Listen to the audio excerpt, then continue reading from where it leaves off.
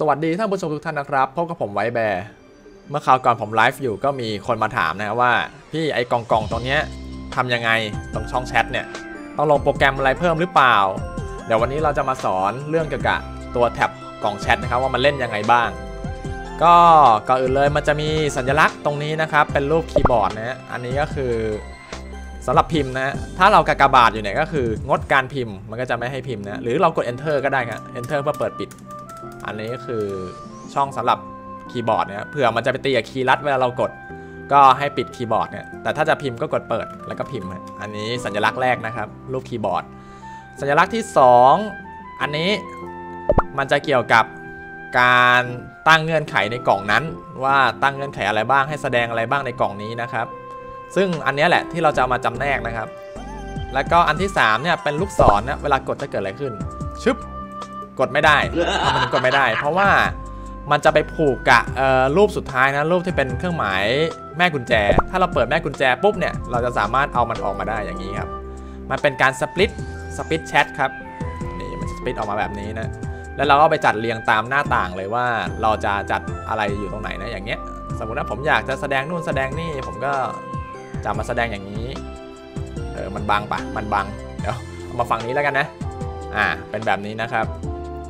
นี่มัน split ได้ครับ บางทีเราเล่นเนี่ยเราอยากดูข้อมูลหลาย ๆ อย่าง อยากดู damage อยากดูค่าประสบการณ์ แล้วก็ดูแชทไปด้วยก็สามารถ split ออกมาได้ครับ อันนี้ก็ split message แต่ว่ารู้สึกว่าไออันที่เป็นอันใหญ่สุดเนี่ยไม่สามารถทำให้เป็นเล็กได้นะ มันได้แค่นี้ โอเค ทีนี้ผมพูดถึงเรื่องของแม่กุญแจไปแล้วใช่ไหมสมมติเราจัดเสร็จปุ๊บเนี่ยเรากดล็อก มันก็จะล็อกตายแล้ว เราจะเลื่อนอะไรไม่ได้แล้ว คือมันจะล็อกเอาไว้ ไม่สามารถขยับปรับได้ และก็จะมีเรื่องของเครื่องหมายบวกลบ อันนี้แหละที่เราจะใช้กันนะครับ ก็คือสมมุติถ้าเราอยากได้กล่องเพิ่มเราก็กดเครื่องหมายบวก จึ๊กอ่า เราก็จะได้แท็บใหม่ขึ้นมานะครับเราจะชื่อ new tab 5 6 7 8 อะไรก็ไปเรื่อยเปื่อยdouble click เพื่อตั้งชื่อมันนะครับ สมมุติว่า tab ดูอุปกรณ์แล้วกันดู item อะตั้งชื่อว่า item โอ้ภาษา item อ่าสมมติผมตั้งกล่องมาชื่อ item เสร็จแล้วเนี่ยมันจะเป็นกล่องเปล่าๆเลยครับไม่ไม่สามารถดูอะไรได้เลย ถ้าเราจะสามารถปรับมันได้เนี่ยเรากดที่ปุ่มนี้ครับรูปปุ่มวงกลม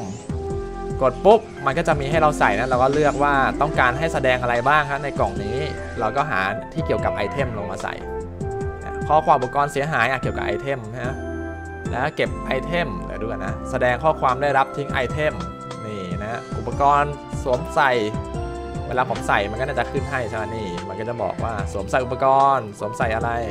ก็จะขึ้นแบบนี้นะครับ อันนี้ก็ลองไปเล่นกันดูว่ามันทำอะไรได้บ้างนะ เกี่ยวกับพวกออปชันต่างๆ ที่จะให้โชว์ในกล่อง เสร็จแล้วเครื่องหมายลบแน่นอนก็ตรงข้ามกับเครื่องหมายบวกครับ มันคือการลบแท็บทิ้ง กดจึ๊กแท็บที่เราสร้างไว้มันก็จะหายไปเลย ก็น่าจะหมดแล้ว แล้วก็มีวิธีการอีกวิธีหนึ่งในการ สปลิตมันเหมือนกันที่ไม่ต้องกดลูกศรก็คือการลากเอาครับ แต่ต้องปลดแม่กุญแจกันนะ เราจะสามารถลากได้ครับนี่ เราสามารถลากเข้ามารวมได้